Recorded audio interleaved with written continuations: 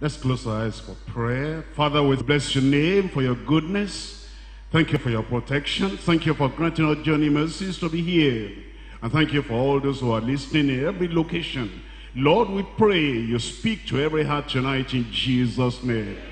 I will pray that your word will have the right impact in every heart. So that, Lord, you raise up your people to fulfill your will, obedient to your word every time, in every way, in Jesus' name.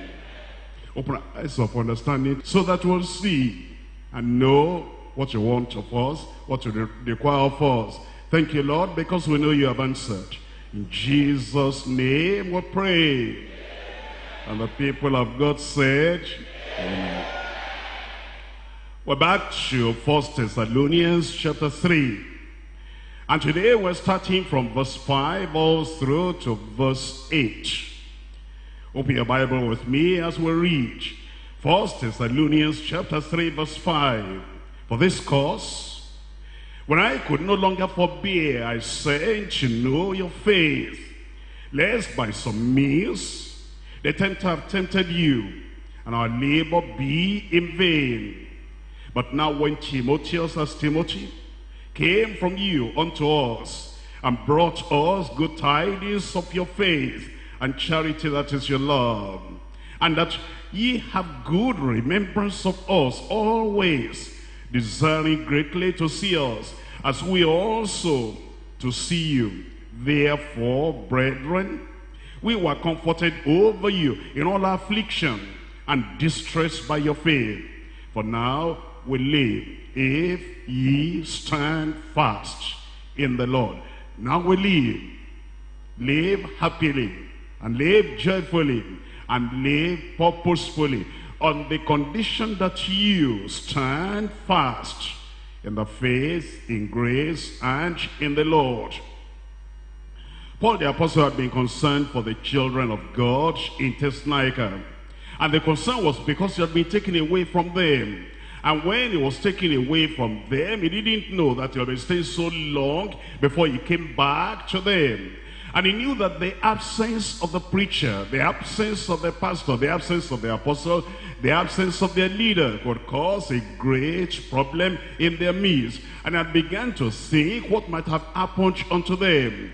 Were they tempted already? Were they backsliding already? Were they still standing? And were they still holding on to the faith? That was the concern in the mind and the heart of the apostle, the pastor of this church. That is of the church to the Thessalonians. And because of that, he had been thinking, wanting to go back to them a number of times, but he had not been able.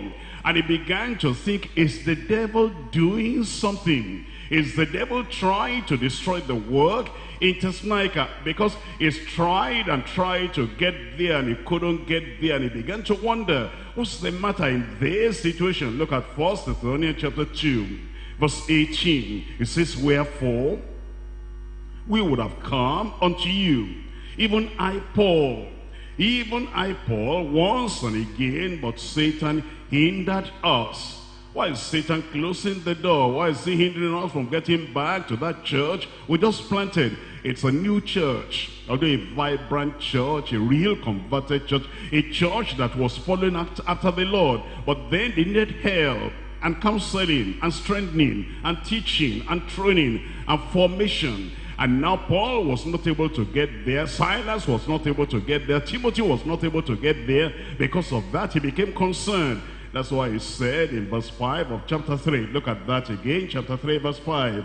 For this cause, for this reason, when I could no longer forbear, I've waited and waited, thinking I'll come back to you. I wasn't able to. I tried another way. I wasn't able to reach you. And he said, because of the concern I have, and because of what I thought might have happened unto you, therefore, he said, I now send Timothy unto you, so that I'll be able to know your condition. And he said, actually, you know what concerns me? He said, lest by some means, in some ways, the tempter have tempted you and our labor be in vain. There are two things there. Number one, lest the tempter would have come to you and the tempter would have tempted you. Number two, if you then backslide because of the temptation and the trial from the tempter and the persecutors, our labor will be in vain. What will tempt people like that? Number one, their past life of, idol of idolatry could have tempted them.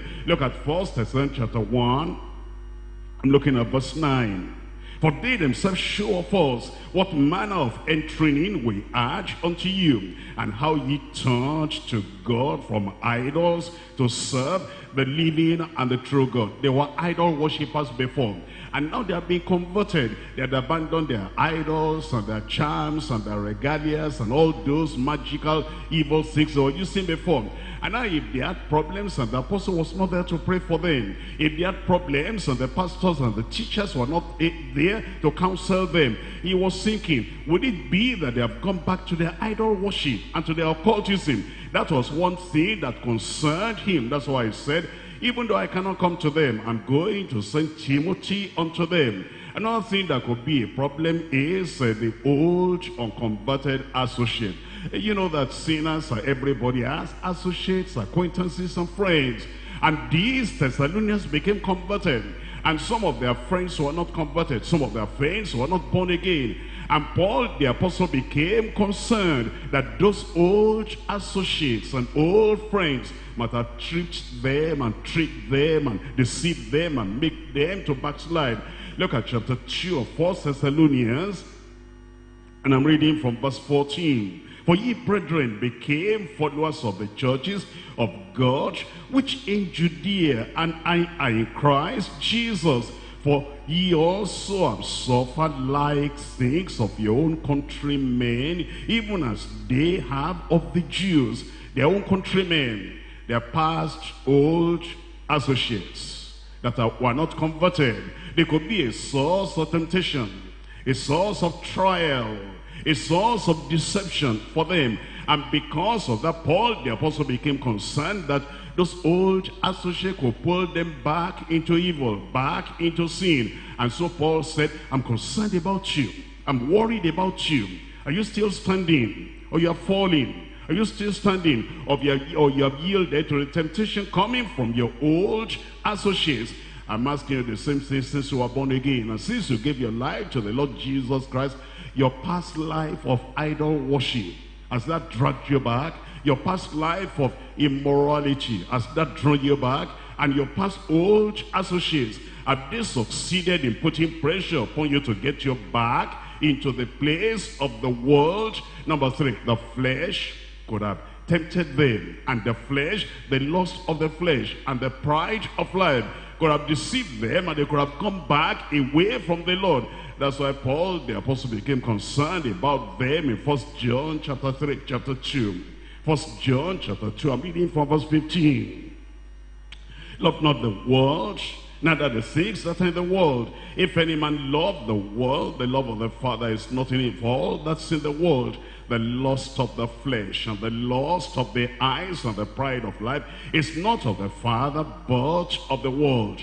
That's the concern of Paul the Apostle, that the lust of the flesh and the lust of, of the eyes and the pride of life those worldly things that make people proud and pompous and want to show off what they have and what they don't have. He said that might have tempted them. And so he became concerned for this church because if they yielded to temptation, the work of the apostle, the work of the pastor, the work of their leaders would have been in vain. He said, I'm thinking about you every time I wanted to come back to you myself and see you and know where you are, where you stand. And because I couldn't do that, I'm sending Timothy unto you. And there was another serious problem that had actually happened and you need to think about this. Uh, one of the associates of Paul the Apostle, one of the preachers, one of the assistants of Paul the Apostle, one of the full-time workers with Paul the Apostle was a man called Demas. But that full-time worker had backslidden and had gone away from Paul the Apostle. And guess where he went? He went to Thessalonica. And then Paul said, hey, that man has gone. He's backsliding. He has loved this present world. And he's gone to Thessalonica. How do I know what he's going to do there? That's why Paul the apostle became concerned for those people in Thessalonica. Look at Second Timothy chapter 4. I'm reading from verse 10. 2 Timothy chapter 4. We're looking at verse 10. For Demas has forsaken me, having loved this present world, and is departed unto Thessalonica. That was a great concern for Paul the apostle that that man that knew the in and out of Paul the apostle, knew all the doctrines of Paul the apostle, and knew all the trips of Paul the apostle, and knew all that Paul the apostle had done in Thessalonica. And he didn't find any other place to go when he backslid. When he departed from Paul the apostle, he went to Thessalonica. And so Paul the apostle became concerned and said, Hey, brethren, Thessalonica, somebody is there. He's coming to you. I want you to understand whatever he says is not standing for me. It's not standing with me. It's gone back into the world. And it's there in Thessalonica. And I'm concerned about you that you're not listening to backsliding preachers like that. That's the reason he became concerned. Come back to 1 Thessalonians chapter 3. I'm looking at verse 5 again. For this cause, when I could no longer forbear, I said, it is urgent now. I need to say something. I need to do something. I need to get to these Thessalonians. Lest this man Demas will trick them and trick them and deceive them and then pull them back into sin and into evil. For this cause, when I could no longer forbear, I say to know your faith, lest by some means the tempter have tempted you and our labor be in vain. Another reason I was concerned is because that devil that had been hindering him from going to Thessalonians could go there to tempt the people and make them backslide and make them forsake the Lord. In Second Corinthians chapter 11, I'm looking at verse 3, 2 Corinthians chapter 11. Looking at verse 3, but I fear lest by any means, as the serpent beguiled Eve through his subtlety, so your minds should be corrupted from the simplicity that, that is in Christ. He said, I became concerned that as the serpent went to the Garden of Eden, a beautiful garden, a wonderful garden, that God made for Adam and Eve, and they were enjoying all the provisions of the Lord there. The serpent went there, beguiled them, deceived them, and brought them back into and brought them into evil. And Paul, the apostle, said, I'm concerned also concerning you, because the devil, Satan, that evil one, he might have come to you as he went to the Garden of Eden to pollute your mind and to cast doubt in your mind. God doesn't love you and God doesn't want you to see and to have everything you ought to have. That's why he's keeping this away from you. And Paul, the apostle, is representative. He doesn't love you. That's why he has not come back unto you. Paul, the apostle, was concerned about that. And so he said, I'm now sending Timothy to you. Even though I cannot come now, I need to know your state. I need to know your faith. I need to know whether you're standing. I need to know whether you're still holding fast onto the faith. And if you're holding fast to the faith, then we'll rejoice and we live. And we live purposefully. Another reason is because he knew that it is possible that immorality could have come back. Because, you know, those Thessalonians, eh, anywhere you find idolatry, you also find adultery in those olden days, in the days of the New Testament, all those cities, they were given to idolatry as well as idolatry. Because two of them, they go together, idolatry and adultery, adultery and idolatry. And because the idol worshippers before, and that's why you find Paul the apostle writing to the Romans mentions fornication, writing to the Corinthians mention fornication, writing to the Galatians mention fornication, writing to everybody. Philippians and uh, Colossians and Ephesians mention fornication every time and adultery. It was a common sin at that time. And Paul, the apostle, was very much concerned with those new converts that their problem was number one, idol worship. And then number two, adultery and fornication. That's why I wrote to them in 1 Thessalonians chapter 4. Look at verse 3 there. 1 Thessalonians chapter 4 verse 3. For this is the will of God, even your sanctification, that you should abstain from fornication. It was a great problem in Thessalonica. In fact, they, told, they have told us in history that they build their houses and then on the walls of their houses you have pornographic pictures And it was almost everywhere. And Paul, the apostle, became concerned. This thing that is rampant. And this time that makes the whole land dirty, smelling, spiritually smelling. As it caught up with those Thessalonian believers, that's why I sent Timothy to them, say, go and find out. Are they now back in the flesh and back in idol worship and back in idolatry and back in fornication, back in uh, immorality? Go check up. And then when Timothy came back and said, those people are standing. They're standing in righteousness. They're standing in godliness. They're standing in grace. How happy he was. That's why I said, for now we live. Because you're standing, standing in the Lord and standing in the faith. There's another thing that concerned him. The Paul the apostle knew very well that the absence of a leader could actually generate problem in the congregation. Because he knew, if you look at Exodus chapter 32, Exodus chapter 32, I'm reading from verse 1. The absence of a pastor, the absence of an apostle, and the absence of a church planter could actually make the people so discouraged to say, well, Moses is not around, the apostle is not around, the pastor is not around. What are we going to do now? Why are we still standing? Why are we still resisting temptation? And Paul, the apostle, knew that that, the absence of the leader, the absence of the pastor, and the absence of the apostle could actually mean a real terrible problem for them. Exodus chapter 32, I'm looking at verse 1.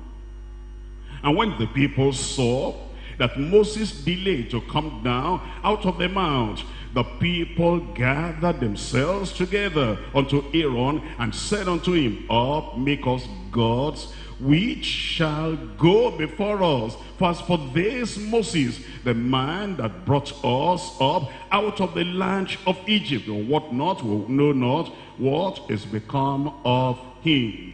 And that was a concern the heart of the Paul the apostle that because he had been absent, because he had not been with them, he didn't know what had happened to them spiritually. Because the enemy normally takes advantage of the absence of leadership, of the absence of our coordinators, of the absence of our group coordinators, and sometimes the absence of the pastor himself, that the devil then begins to work havoc I can't see the pastor, I can't see our leaders, so why am I still standing? And then temptation will come. And then you yield to temptation because of that absence. Look at Matthew chapter 13. Matthew chapter 13. I'm reading there from verse 25.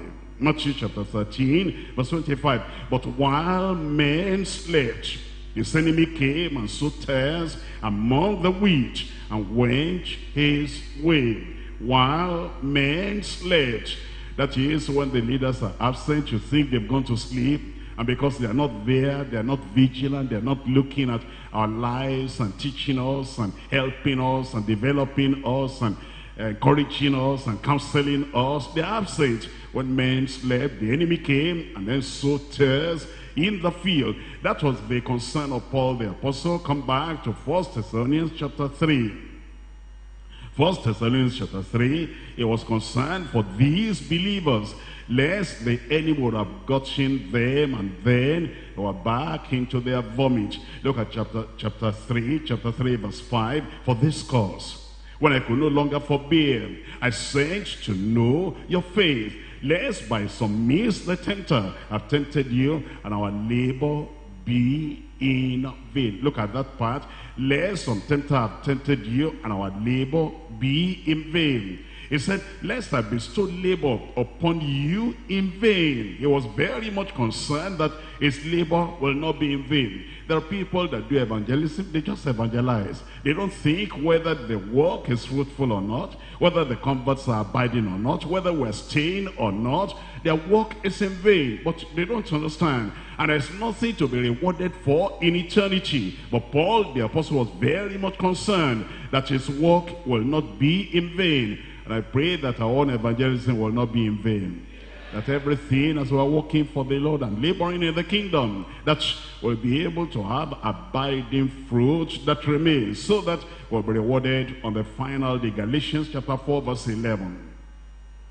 Galatians chapter 4, I'm looking at verse 11. I am afraid of you, lest I bestowed upon you labor in vain. That's Paul the apostle talking to the Galatians. He said, I'm afraid of you, the way you're acting, the way you are living. and the way you are listening to almost every voice coming to town, and the way you are being swayed from the real gospel, I'm afraid of you lest I've bestowed labor upon you in vain. In Philippians chapter 2, I'm looking at verse 16. Philippians chapter 2, verse 16. He's telling us here, holding fast the word of life, that I may rejoice in the day of Christ, that I have not run in vain, neither labored in vain. Do you ever think about that, your service?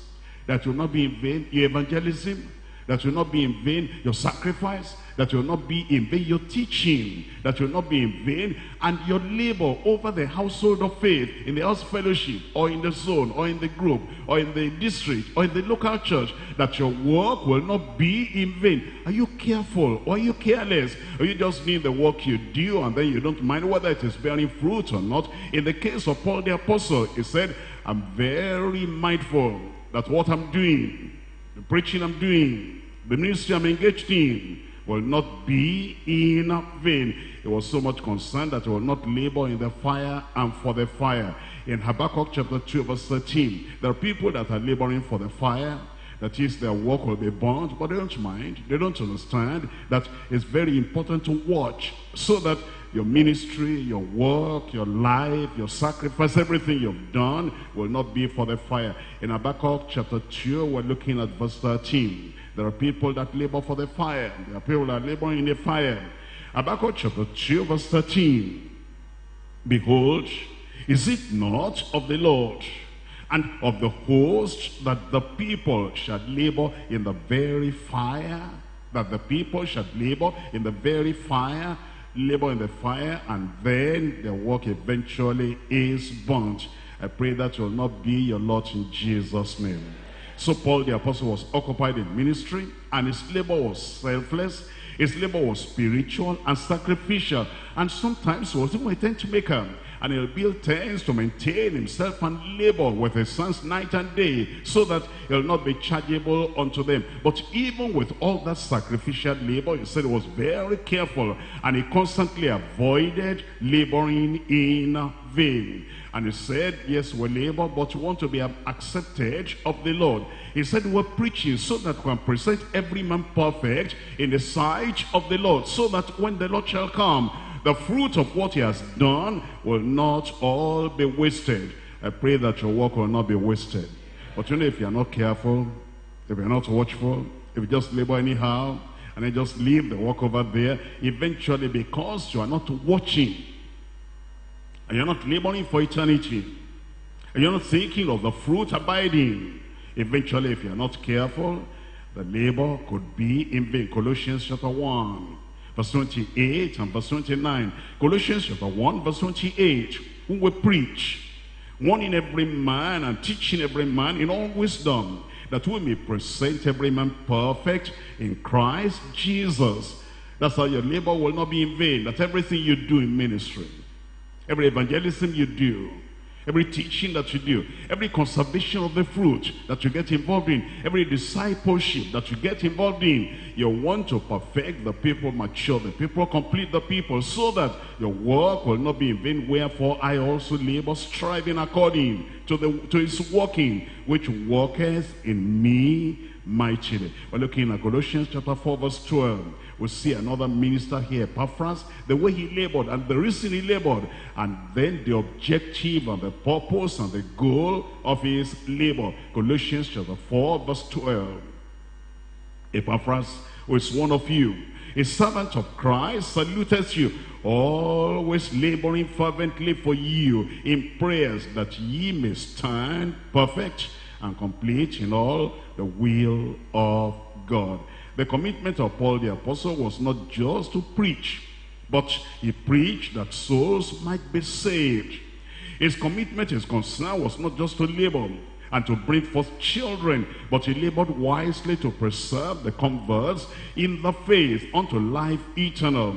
In the province of Galatia, in that of Philippi and Thessalonica, and every other place that he went, he cared for, he taught, and he developed, and he built up his converts. He did not leave the converts in the hands of strangers or false prophets, and he would not bring forth his children for the murderers of souls. Very careful that those people will be preserved. That's why we are careful in this church. Those of us who are your pastors and your leaders and your coordinators who are careful that the work we do will preserved to eternity and you will stand to eternity in Jesus' name. That those who are saved will remain saved. That those who are sanctified will remain sanctified.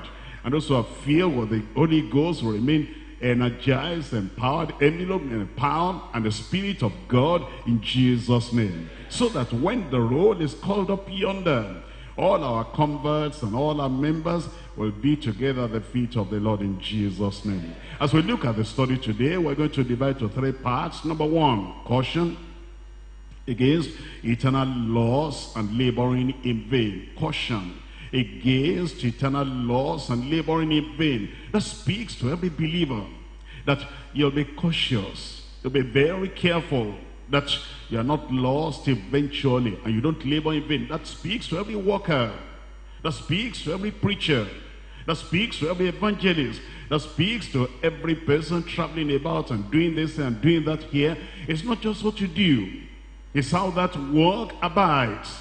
Caution against eternal loss and laboring in vain. Number two, comfort through established love and lasting virtues. You can see from these Thessalonians, they, they remembered Paul, they loved Paul, they had affection for Paul, just like Paul had for them. And what a great comfort that brought in the heart of the apostle. Number three, commitment to exceptional labors while living victoriously. Labor and life. Life and labor. You are living victoriously and then you are laboring tirelessly. Those two things are joined together. Let's come to number one. Caution against eternal laws and laboring in vain. We'll see coming back to this now in 1 Thessalonians chapter 3 verse 5.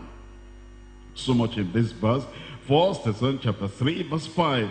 For this cause, when I could no longer forbear, I sent to know your faith lest by some means the tempter have tempted you and our labor be in vain. You'll see what the apostle was concerned about here. He knew that somebody could labor in vain and he said, I will not labor in vain. Number two, he knew that somebody could preach in vain and he said, I'll not preach in vain. You know, somebody can preach, you know, almost every day of the year.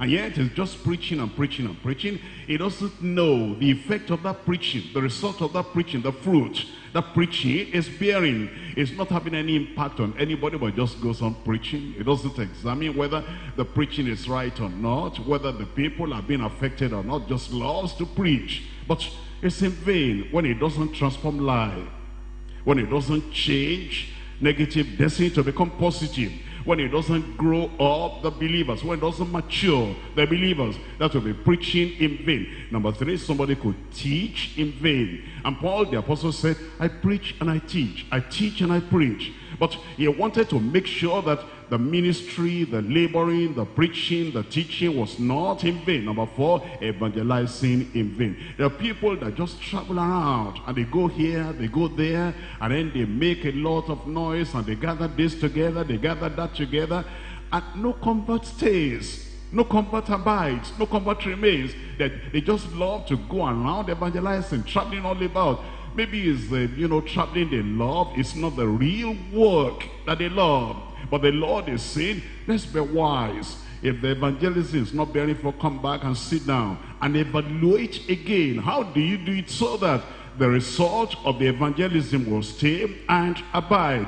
But Paul the apostle said, yes, I evangelize, but I will not evangelize in vain. Then worshiping in vain. There's some people that just worship, whether God accept the worship or not whether that worship is audible or not, whether that worship is according to scripture or not, they don't worry, they just worship. But the Paul the apostle is saying, I will not worship in vain. Number five, there's one prayer, pray and fast, but not in vain. They pray and fast. What result is he bringing? I just fast. They fast every every every week. They fast maybe one day, they two days the week. But does it generate any result? Is it bringing any fruit? They don't know. They just love to pray and fast. And we're saying, come back and sit down and evaluate the result of the praying and the fasting so that you're not praying and fasting in vain. Other people work miracles in vain. Miracles in vain. They work miracles. They go here, they open the eyes of the blind. They go over here, they make the lame to walk. They go over there. They just love to work miracles. And then finally the Lord will tell them, I never knew you. Depart from me, that walk iniquity. Living in sin and trying to work miracles. Working miracles in vain. Other people, they suffer in vain. I pray you will not suffer in vain. Uh, look at look at this in uh, Galatians chapter 3 verse 4. Galatians chapter 3. I'm looking at verse 4 there. Have you suffered so many things in vain? If it be yet in vain, the Galatians had suffered and then Paul the apostle was telling them the way you are going and the things you're doing, all the suffering, all the pain, all the persecution could be in vain. And he said, have you suffered so many things in vain?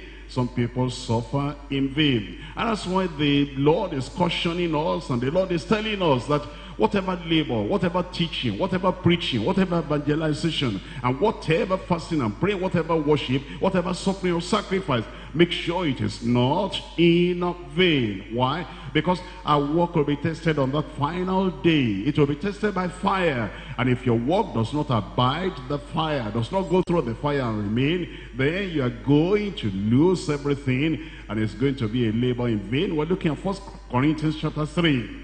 First Corinthians chapter 3, verse 13. For every man's work shall be made manifest, for the day shall declare it, because it shall be revealed by fire, and the fire shall try and test every man's work of what sort it is. The Lord is telling us here through the Apostle Paul that the work we do, the service we render, the preaching we make, and the teaching that we give, everything eventually will be tested by fire. And the compass will say we have, the fruits will say we have, everything will be tested by fire. It says in verse 14, if any man's work abide, which he has built thereupon, he shall receive a reward. If any man's work shall be burnt, he shall suffer loss. If any man's work shall be burnt, he shall suffer loss. That means then that there'll be no fruit remaining, there'll be no result, there'll be nothing to reward him for. And it will be that such a person has been unwise. We're told, look at this illustration in Job chapter 39. Job chapter 39. I'm reading from verse 13 there. Job 39, verse 13. And we need to be very thoughtful. You know, you come to Bible study every time. I pray that your coming will not be in vain. You know, we study the Bible and read the Bible. And I, am just praying that reading the Bible, you know, we do it in our church here. We go from chapter to chapter in our Bible reading time before we preach. And then after, you know, we do that on Sunday, we do that on Monday. And we're just going through Old Testament and New Testament. And then you're asking yourself, what's the effect of that Bible reading in your life, in your family, in your ministry? You know the Bible so much, but will it be in vain? We study the Bible from, uh, you know, book to book, like we're now in First Thessalonians. And the study, what impact is it making in your life? So that it doesn't appear on the final day that you studied in vain and worshipped in vain. I pray that will not happen to you. Job chapter 39, verse 13 tells us, Givest thou the goodly wings unto the peacocks, or the or wings and feathers unto the ostrich. It's talking about these birds that look beautiful, just awesome, wonderful. As you look at their feathers, but it says, which leaveth her eggs in the earth and warmeth them in the dust, and forgetteth that the foot may crush them, or that the wild beasts may break them. She is hardened against her young ones, as though they were not hers.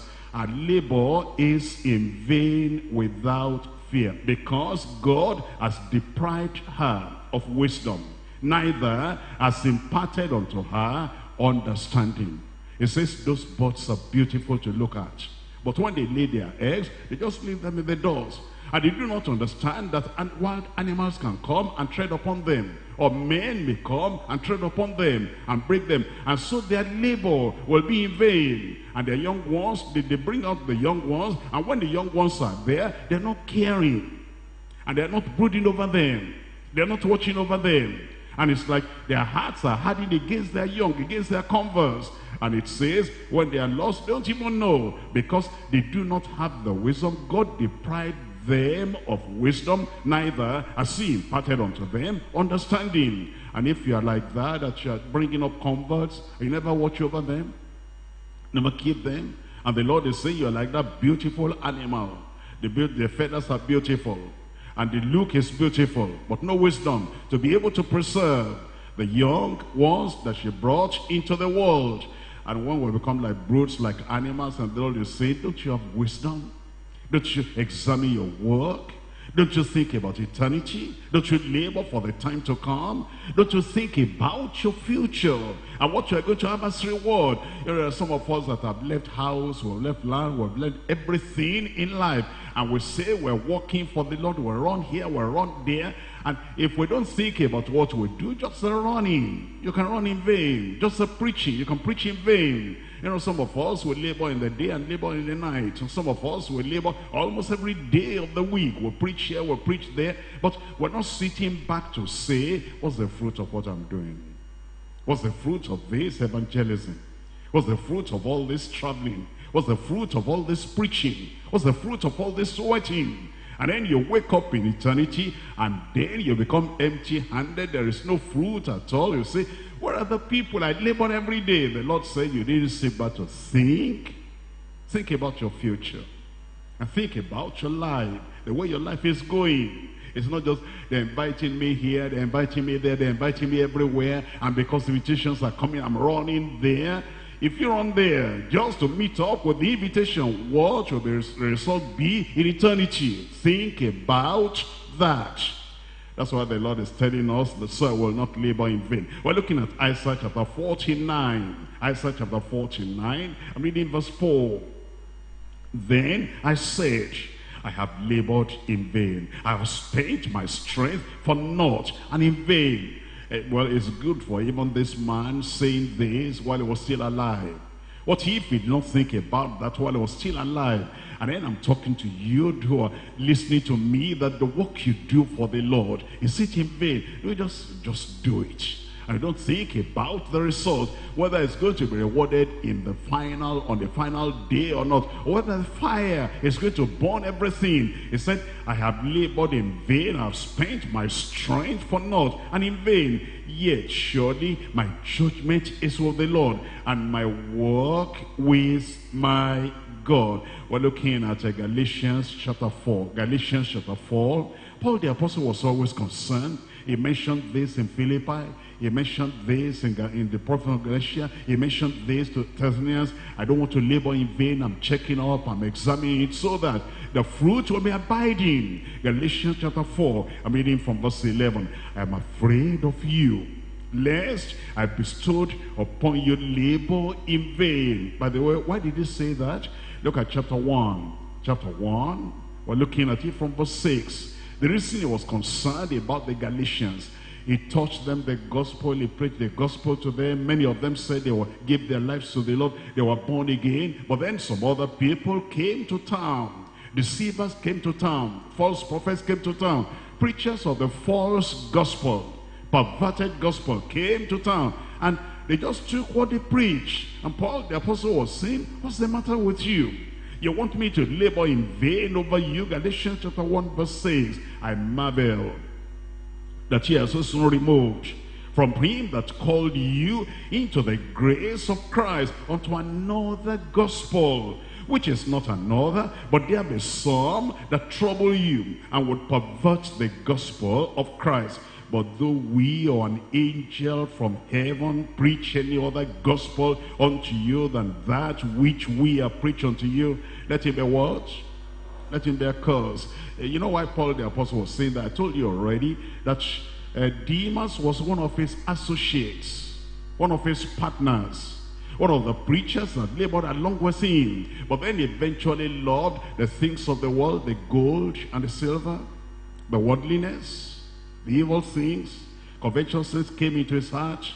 A spirit of deception took over the life of Demas.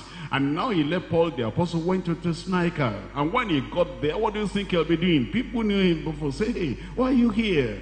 How about Paul? Paul is not here, you are here. What are you doing here? Are you no more with him? Then we'll begin to tell stories and begin to tell them a perverted gospel. Oh, Paul, I've let that Paul because that Paul is, you know, is fanatical. I've left that Paul. I cannot go by the pace of that Paul. You know, he was all heavenly minded, heaven, heaven, heaven all the time. And because he knew that such people might go to this place, said, they come to you and they preach another gospel a perverted gospel to deceive you and to make you go astray. He said, it's not another.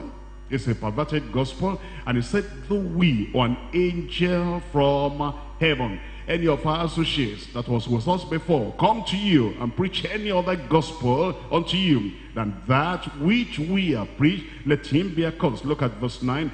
As we said before, so say I now again, if any man preach any other gospel unto you than that ye have received, let him be, tell me again, accursed. That it was so serious. It, that's because he didn't want to preach in vain. Look at Second Corinthians chapter 6. Second Corinthians chapter 6, I'm reading from verse 1. We then, as workers together with him, beseech you also that you receive not the grace of God in vain. We beseech you, we plead with you, we beg you that you will not receive the grace of God in vain. Because uh, there were people that were receiving the grace of God and you couldn't see the evidence of that grace in their lives. No matter when we have grace, it brings salvation. The grace of God that brings salvation has appeared unto all, teaching us that denying ungodliness and worldly laws, we should live soberly, righteously, godly in this present age, in this present world.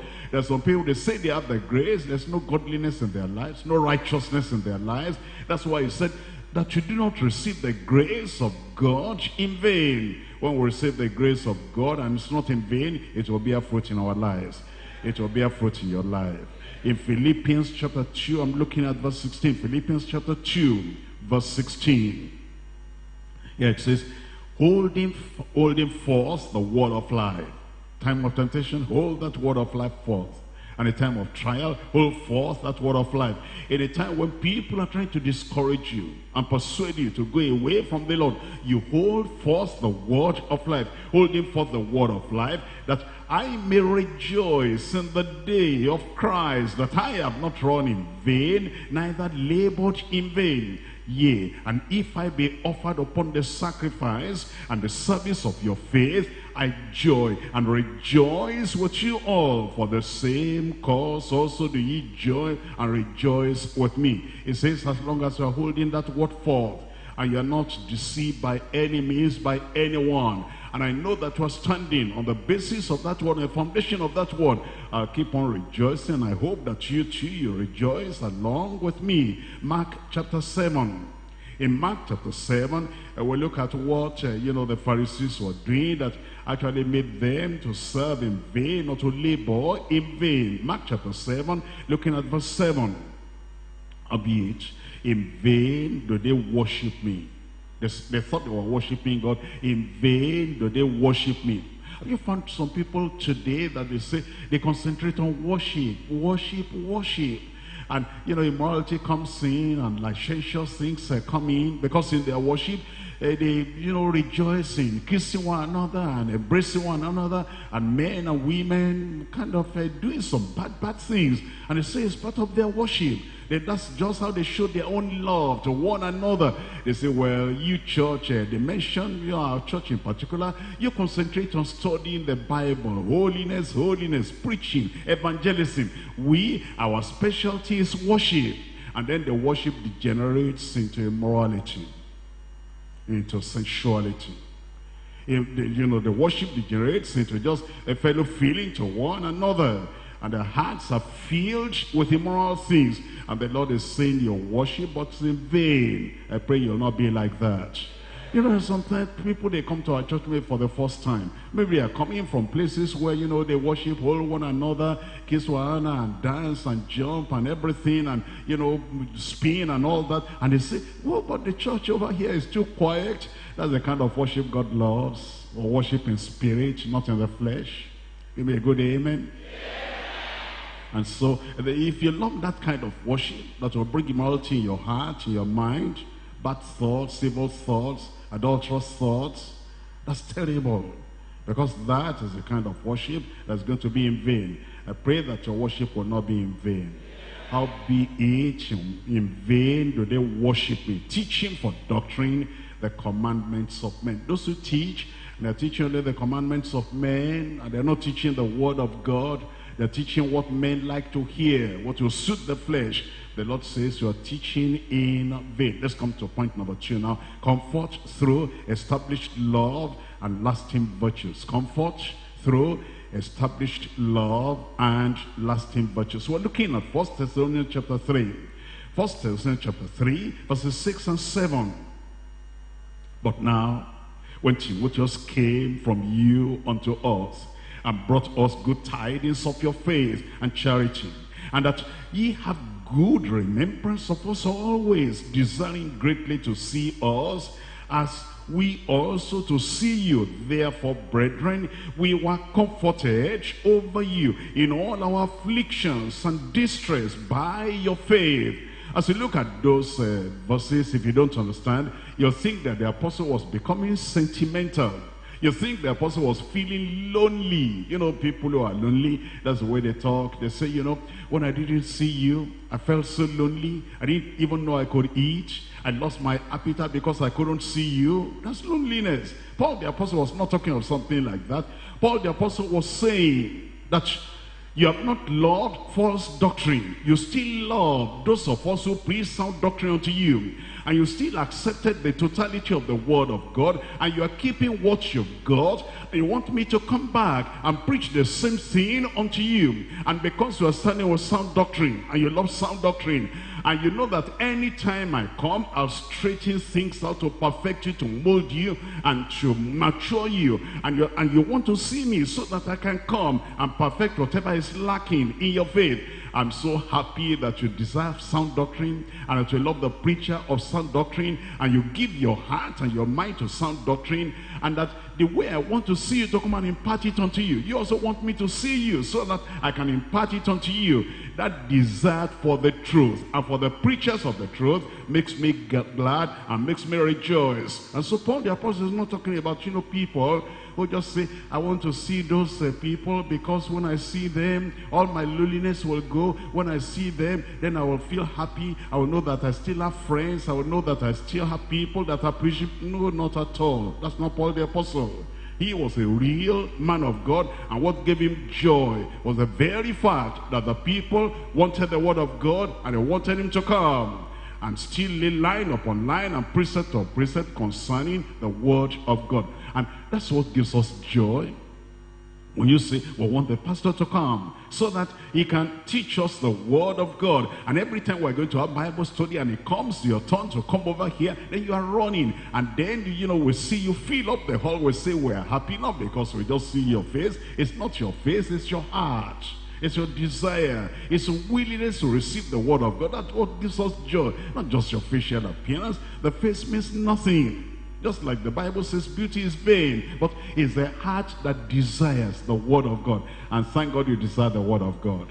And you want to soak in and sink in the word of God that will affect your life, affect your character, affect every part of you. That is the joy we have. And I pray that joy will never be taken away from us in Jesus' name. He said, we're comforted because we see that you love the truth. You want the truth. Even when the word of God is coming to you with correction. Even when the word of God is coming to you with cleansing and is purging you, you love it. That gives us joy and comfort. Second Corinthians chapter 7. Second Corinthians chapter 7 verse 2.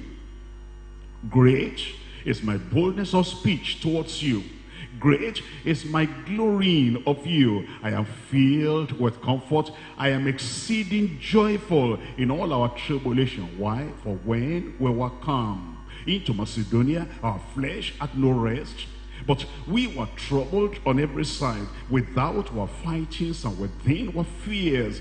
Nevertheless, God that comforteth those that are cast down comforted us by the coming of Titus. You see that? Paul the apostle said when he was in Corinth to the Corinthians, he said, I was cast down. I was unhappy. I was feeling, oh, what's happening to those Corinthian believers? Are they still standing? And then he said, then Titus came and he gave me some good news concerning you. Because, you know, in First Corinthians, he had written a very serious letter to them. He corrected them, he rebuked them, he chastised them, he laid the rod of correction, discipline upon them. And he said, that fellow that committed immorality in chapter 5, cast that fellow out. Disfellowship him, excommunicate him. Don't let him step into the church again. He said, what have I to do? Judging the people outside, the people that are inside the church, I must discipline and they must not remain in sin. And he thought that that kind of a firm stand and discipline will make the Corinthians say, oh, look at this Paul, we don't want him anymore. Don't come and preach to us anymore because you're too firm and you're too strict. But Titus came back in Second Corinthians and he said, Paul, you know what? That correction, they accepted it. That correction, they loved it. Even the excommunication of that sinner, of that terrible backslider that went into immorality with his father's wife, they loved it. Look at what it says in verse 7 and not by his coming only, but by the consolation wherewith he was comforted in you when he told us of your earnest desire, your mourning, your fervent mind toward me, so that I rejoice the more. For though I made you sorry with a letter, that's what First Corinthians that he wrote to them, I do not regret, I do not repent, I do not relent, then he said, though I did relent and though I did feel sorry, for I, I perceive that the same epistle that made you sorry, though it were but for a season, now I rejoice. Not that ye were made sorry, but that ye sorrow to repentance. For ye were made sorry after a godly manner, that ye might receive damage by us in nothing. He's talking about what the discipline he gave out to that uh, terrible backslider. He said, now I rejoice because of your attitude. Look at verse 10, for godly sorrow worketh repentance to salvation, not to be regretted of, but the sorrow of the world worketh death. For behold, the selfsame thing that Ye sorrowed after a godly sort. What carefulness it wrought in you. Yea, what clearing of yourselves. Yea, what indignation. Yea, what fear. Yea, what vehement desire. Yea, what zeal. What revenge. In all things ye have approved yourselves to be clear in this matter. That is the way the Corinthians received the discipline of that individual. Paul the apostle said, I rejoice that you are standing. I rejoice that you love the truth. And that now you are not siding in with backsliders and with unbelievers. That makes me rejoice. And then he said, now you have cleared yourself that you are not a partaker of evil. Look at verse 12. Wherefore, though I wrote unto you, I did, I did it not for the cause that uh, for he that had done the wrong, nor for the for his cause that suffered the wrong, but that our care for you in the sight of God might appear unto you. Therefore, we were comforted in your comfort, yea, and exceedingly the more joyed we for the joy of Titus, because his spirit was refreshed by you all. I pray our church will be like this when somebody has committed sin and the fellow is disciplined either in the district or in the group or in the central church that will not side in with sinners, with backsliders who want to destroy the souls of people to pull them to hell, but will take sides with the word of God and rejoice together that the church remains pure, that our church remains clean, that our church remains holy. We're not going to throw away the church because of one individual. We're not going to throw away the doctrine of righteousness, holiness, and sanctification because of one individual. We'll rather throw away one person and preserve the spiritual life of multitudes of people. And I pray that we remain on that right track forever in Jesus' name. We're looking at, we're looking at a first, uh, we're looking at uh, Philippians chapter 1, the first chapter of Philippians, chapter 1. And I'm reading there from verse 27 that at all times in all things will remain faithful to the word, committed to the word. For Philippians chapter 1 verse 27, only let your conversation be as it becomes the gospel of Christ, that whether I come and see you or else be absent, I may hear of your fears, that ye stand fast in one spirit, with one mind, striving together in the faith of the gospel. That's what brings joy to the preacher. What brings joy to the pastor? What brings joy to the apostle? That we're all standing fast with the same mind, holding on to the same faith, and defending the same gospel, and living by that same standard of the word of God. Well, we thank God that today it is like that, and I pray it will always be like that. Colossians, Colossians chapter 3, Colossians chapter 3. What brings joy to the heart of the preacher? What brings joy to the heart of your pastor? What brings joy to the heart of the apostle Paul? Colossians chapter 3 verse 12.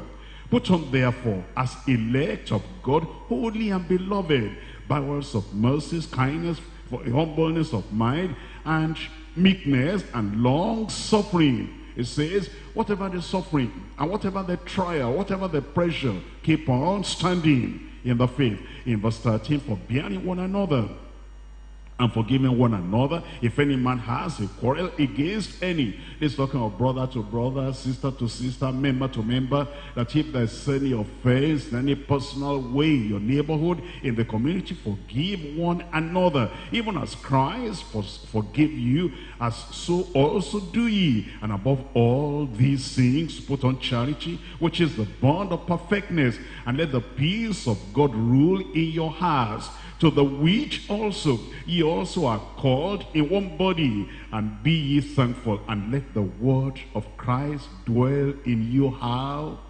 Richly in all wisdom, teaching and admonishing one another in psalms and hymns and spiritual songs, singing, singing how?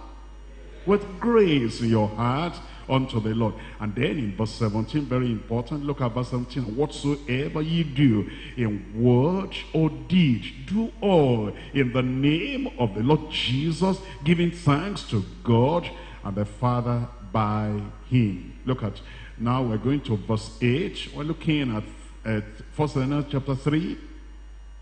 1 Thessalonians chapter 3, we're looking at verse 8. 1 Thessalonians chapter 3, verse 8. It tells us, for now we live if you stand it fast in the Lord. Paul the apostle told the Thessalonian believers, he said, you know what? We live, we live joyfully, we live purposefully, and we live excitedly. If you will stand fast and remain firm in the faith, for now we live if you stand fast in the faith, the steadfastness of their faith and love and appreciation brought new encouragement and excitement and spiritual energy to Paul's life. The life we're talking about does not just merely consist in natural existence, but in doing something that makes life worth living. Living is not merely breathing but doing and enjoying what God has appointed life to accomplish. What constituted Paul's life was laboring and loving and leading and teaching and preaching and evangelizing and winning souls unto life eternal knowing that the Thessalonian believers retained the life of faith in Christ, and knowing that they had the life of grace, and knowing that they had the life of godliness and holiness, and the life that leads to eternal glory, despite the afflictions and persecutions, gave him comfort and more courage to live purposefully. The same affirmed, the same thing that Paul has affirmed is true of all the faithful ministers of the gospel. They feel that they have something to live for and something real that is worth living for when the people they are preaching to stand in grace, they are steadfast and in faith and they are consistent in the life of holiness before the Lord. I want you to look at that verse again in just chapter 3 verse 8. For now we live if ye stand fast in the Lord. That little word if. That little word if, very important, very significant. In fact, you're going to find that word all through the Bible, from Genesis, Revelation. Let me just give you a few verses where we'll find that if. It's a condition. If you do this, then this will happen. If you are standing fast, then we're going to keep on living purposefully. And he's saying that we live in the service of the Lord, we live in the worship of the Lord, we live in all the excitement of worship and sacrifice. If you keep on standing, The implication is, if you don't keep on standing, uh, the discouragement will come to those who are preaching. And they will not be able to come to you and preach the word until they will say, after all, what's, what's the result of the other one we did? What's the result of the other place we went? It will not give us excitement and enthusiasm and joy and, you know, just moving on. When you are not standing, I pray you will stand. I said you will stand. Uh, you know, when a mother, when a mother delivers a child and that child is growing well, is doing well, is, you know, nice and is loving and all that, that mother will want to have another child. But, you know, if uh, you have three children and those three children are just a hell on earth for you, a son in the flesh for you, and then somebody says, I'm going to have a fourth child, I'm thinking about it because these three, they are enough to even make life miserable for a mother. But if those three children, if they're wonderful, and if they're walking according to the way that the parents are teaching them and things are according to the will of God, you're excited. If children are like this, we shall have a multitude of them. And that's what the pastor is thinking. If the church is like this, saved and sanctified and obedient and holy and righteous and soft in their heart and following the Lord and receiving the word, obedient to the word as you're teaching them, the pastor will be very happy and excited. He wants to plant another church there because there's a good church in Thessalonica, another church in Philippi, another church in Colossae, and those churches are doing great and they're doing wonderful. There'll be excitement to come to come and to want to do the word of to do the work of God and to move on. And thank God, thank God for people like you. I say thank God for people like you. If all the churches are like, just like this, we're excited, we're going to keep on preaching. And with your prayer, with your cooperation, it will be like that in Jesus' name. For now we live if you stand fast in the Lord. Uh, let, us move around and look at that word if. We're looking at uh, John chapter 8. John chapter 8, and I'm reading from verse 30. We're looking for the word if, if. John chapter 8, verse 30. As he spake these words, many believed on him. Then said Jesus to those Jews who believed on him, if, that's the word, if ye continue in my word, then are ye my disciples indeed. That's the condition that you continue. If you continue in my word, then are you my disciples. Let's look at let's look at chapter 15, John chapter 15. I'm reading there from verse 4. Abide in me and I in you, as the branch cannot bear fruit of itself, except it abide in the vine. No more can ye except he abide in me. If, if um, I am, I am the vine, and ye are the branches. He that abideth in me, and I in him, the same bringeth forth fruit, and for without me ye can do nothing. Look at verse 6. What's the first word there? If a man abide not in me. Look at that condition. If a man is said, I'm saved, I'm born again, I'm a new creature in Christ, I'm a member of the body of Christ, I'm a member of, a member of the church, and he does not abide in the word of God. He strays away. He goes away to false doctrine. He goes away into immorality and fornication and adultery. He goes away into covetousness and stealing. He goes away into things that are evil. And he says, I'm a child of God. I'm born again. I pray. I see vision. If a man abide not in me, is cast forth as a branch and is withered. And men gather them and cast them into the fire and they are burnt.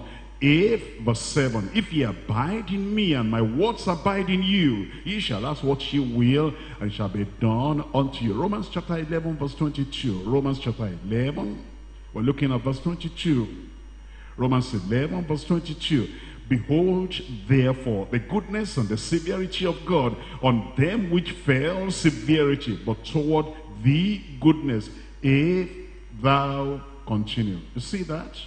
If thou continue. And there's some people, their salvation is uh, old time, archaic, ancient, past salvation. 19 such and such, I was saved. Stop telling story. Tell me about what's happening today. You have the grace of God today. Are you standing in righteousness and holiness today? Story, story, story. I was saved 2000 and something. That story I'm asking about the grace of God today, your faith in Christ today, your standing today, your clean and righteous holy life today, your submission to the word of God today, your obedience to the word of God today. That's what matters. It's not story about, you know, in the past I was saved, I raised up my hand. That's wonderful. Tell me about your present day experience in Christ. Look at verse 22 again. Behold, therefore, the goodness and the severity of God. On them which fell severity, that severe judgment, but toward thee goodness, if thou continue in his goodness, otherwise thou also shalt be cut off. I pray you'll not be cut off. Let's look at Colossians chapter 1. Colossians chapter 1. I'm reading from verse 21. Colossians chapter 1. We're reading from verse 21. If you continue, if you abide, if you stay, if you remain, Colossians chapter 1, I'm reading from verse 21. And you that were sometimes alienated and enemies in your mind by wicked words, yet now as he, re as he reconciled in the body of his flesh through death to present you how? Holy and unblameable and unreprovable in his sight. If ye continue in the faith, grounded and settled, and be not moved away from the hope of the gospel. If you are not kind the kind of person that a little wind is blowing and you are blown off, a little difficulty, a little challenge, a little pressure, a little persecution, then you are gone. But it says, if you remain, if you continue in the faith, grounded and settled, and you are not moved away from the hope of the gospel. We're looking at um, 2 Timothy chapter 2. 2 Timothy chapter 2 verse 10. Therefore, I endure all things for the elect's sakes, that they also may obtain salvation, which is in Christ Jesus with eternal glory. It is a faithful saying, for if we be dead with him, we shall also live with him. Verse 12, tell me the first word.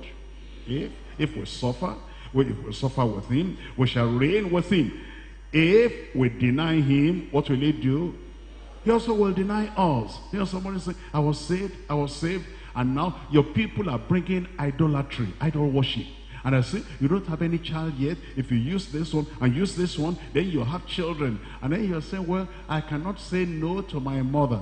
I cannot say no to my people. They are the people that are bringing the thing. And they say I should rob it. That if I rob it, then I will have children. You're a backslider. If you get into that, because if we deny him, he also will do what? He will deny us. You hinder your own prayer, you hinder your miracle, and you hinder your getting into heaven. I pray you will not deny the Lord. We're looking at Hebrews chapter 3, Hebrews chapter 3, I'm reading from verse 6. Hebrews chapter 3, verse 6. For Christ, as a son, over his own house, whose house we are, if we if we hold fast the confidence and the, and the rejoicing of the hope firm unto the end. If we hold it fast, if we're not just, you know, falling and rising and, you know, kneeling and rising and whatever, but if we hold it fast until the very end, look at verse 14, for we are made partakers of Christ if that's the word again. If we hold the beginning of our confidence steadfast unto the end. Hebrews chapter 10, I'm reading from verse 35. Hebrews chapter 10, verse 35. You see how the word if is all there in the Bible, all throughout. Old Testament detail, many verses. I cannot read everything to you in one study, but look at verse 35. Hebrews chapter 10. Cast not away, therefore, your confidence, which has great recompense of reward. For ye have need of patience, that after ye have done the will of God, ye might receive the promise. For yet a little while, and he that shall come will come. And he will not tarry. Now the just shall live by faith. How do we live? I said, how, you, how do you live? By faith. The just shall live by faith. But if any man draw back, if any man draw back, tell me the rest my soul shall have no pleasure in him. If you draw back your private life at home, you've drawn back already into sin, into evil, into backsliding. Whatever you do, you can come over here and shout, praise the Lord, hallelujah. Raise your hand, scream, shout, pray, and be fervent. God says, I know, I know you. I know what you have done in the secret.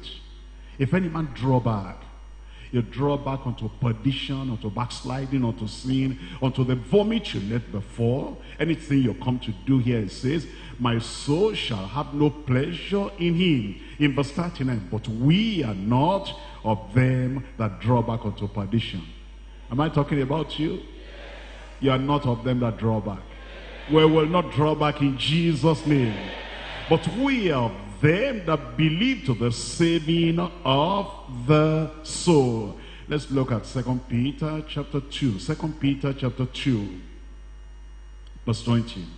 For if after they have escaped the pollutions of the world through the knowledge of the Lord and Savior Jesus Christ, that means they were saved before.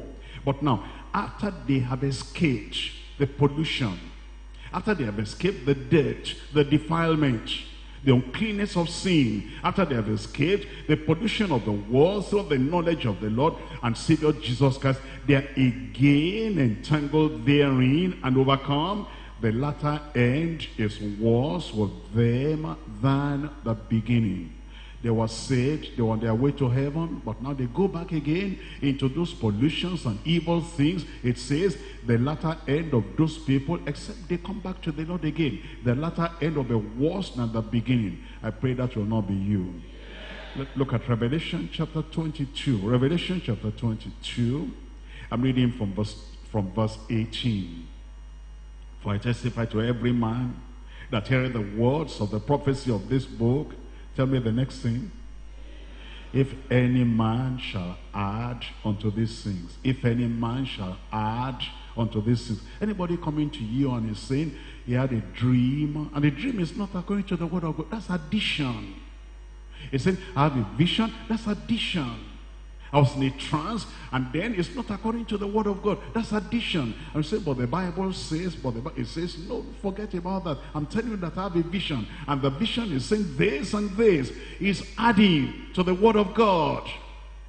And the Bible says, if any man, no matter the, who the man is, if, that's the word again. That's what we're teaching you here. The word of God from cover to cover. That if any man shall add unto the things which are written in this book. God shall add unto him what? The plagues that are written in this book. Verse 19. And what's the next word? If. If any man.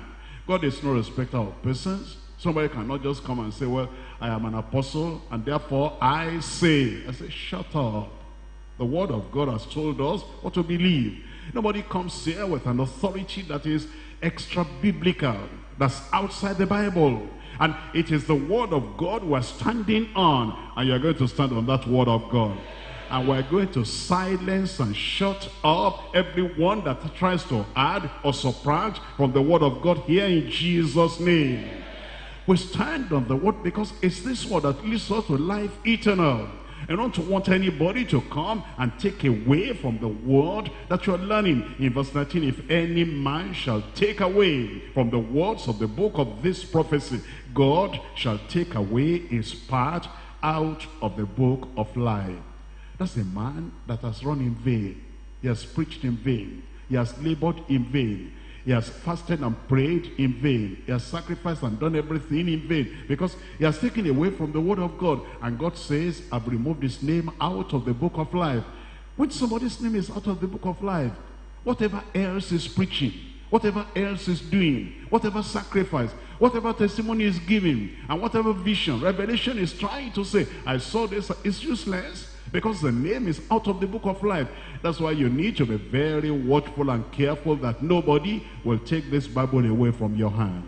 Because if any man shall take away from the words of the book of this prophecy, or shall take away his part out of the book of life and out of the holy city, think about that. Jesus said, I go to prepare a place for you.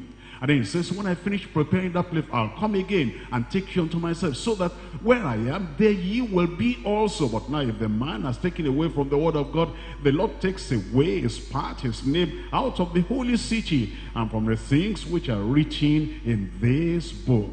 He which testified this things says, Surely I come quickly. Amen. Even so, come, Lord Jesus. The Lord is coming. When he comes, will he find you standing on the totality of the word of God? Or will he find you taking this one away, adding this other one, taking that away, adding this one? Where will the Lord find you? He'll find you in the truth. He'll find you standing in the truth. He'll find you living by the truth in Jesus' name. And then what joy it will be at the set of sun when the Lord shall say, come, come on home. But understand that it is on condition that you continue to the very end. You will continue in Jesus' name. If I walk in the pathway of duty, if I walk to the close of the day, I shall see the King the great king in his beauty when I've gone the last mile although every mile of the way you're keeping the totality of the word of God you are not going astray and uh, you are not allowing anything to take the word of God away from you and it says if for Christ I proclaim the glad story if I seek for sheep gone astray, I'm sure he will show me his glory when I've gone the last mile of the way. Here, the dearest of ties was seven.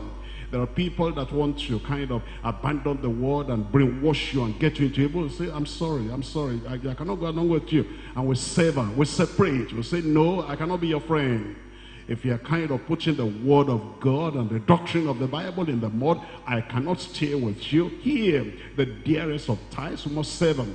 Tears of sorrow are seen every day when those people, when they abandon the faith, maybe somebody that brought you into the gospel, that brought you to the Lord, he has now abandoned the faith and is living a careless life, an adulterous life, and he'll say, I'm sorry. And it pains you to the very heart, and tears of sorrow. We see that every day, but no sickness and sign forever when I've gone the last mile of the way. And if, that's the word again, if, if here I've honestly striven, I've tried all this will to obey. It will enhance all the rapture of heaven. When I've gone the last mile of the way, you'll get to the very end.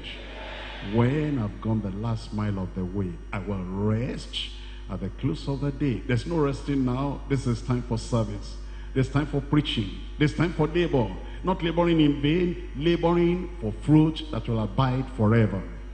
I will know, and I know there are joys that await me, awaiting you. When I have gone the last mile of the, when you have gone the last mile of the way, you'll be there. Why don't you rise up and make a commitment to the Lord? You see that if, you see that if, you see that if, that you want to abide till the very end. You are saved, praise the Lord. Don't look back.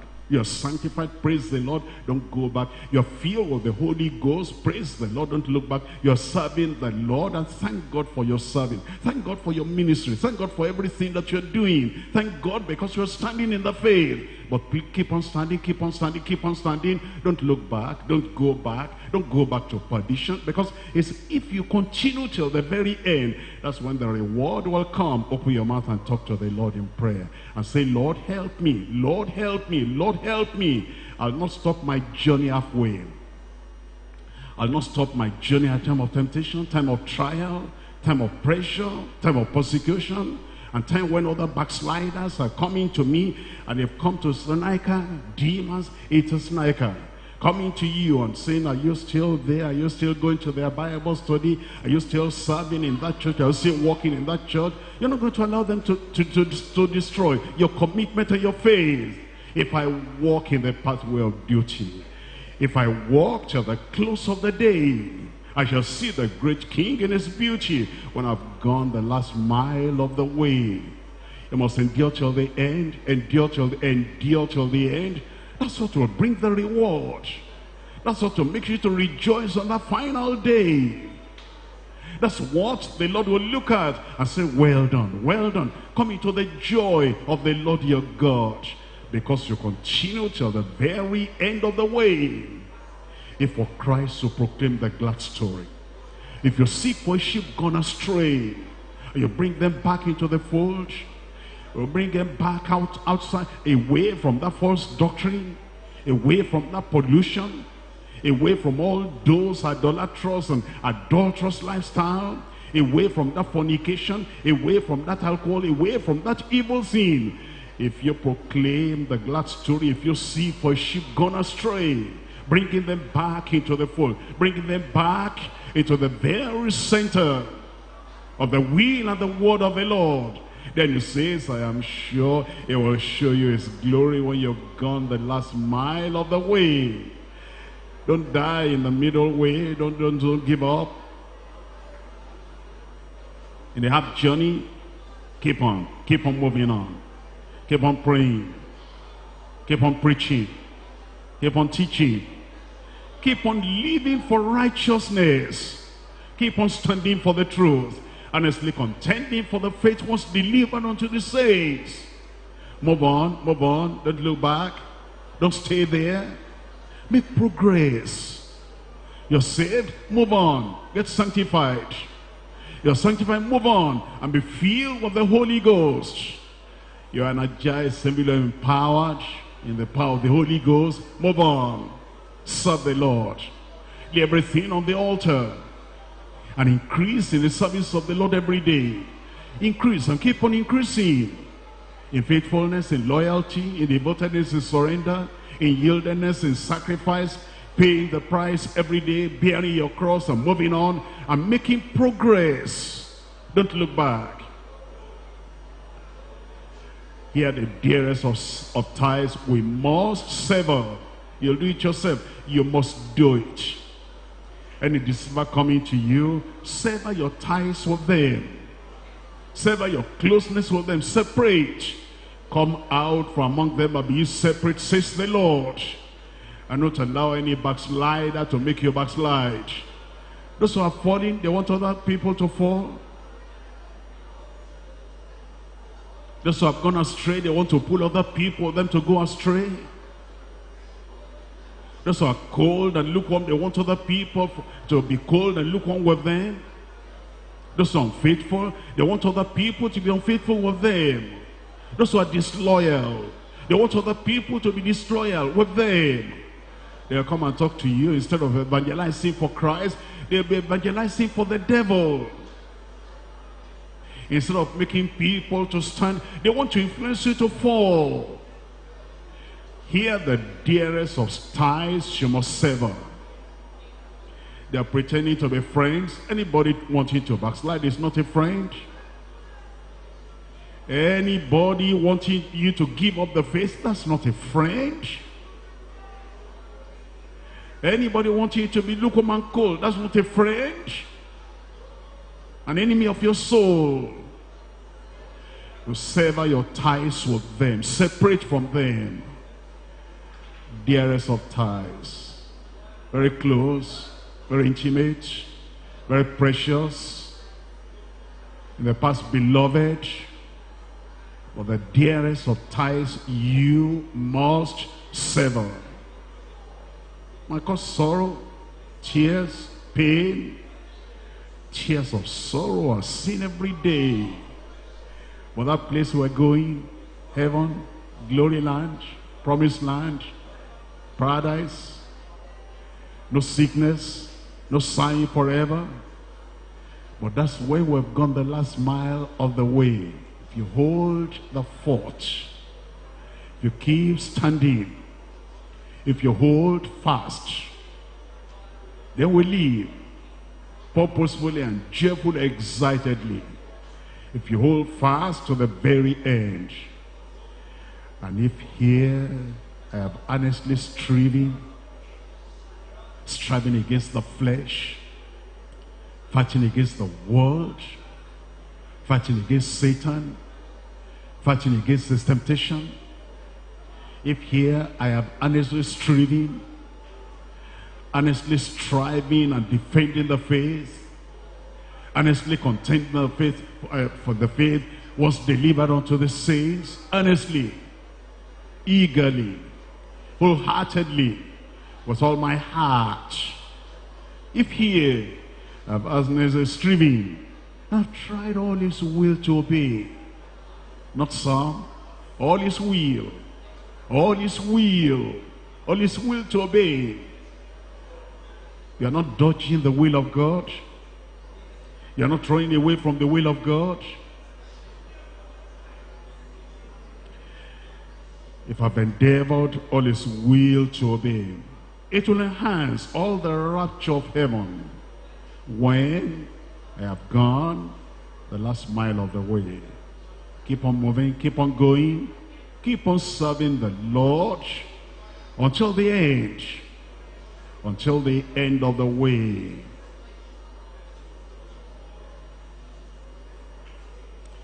When I've gone the last mile of the way.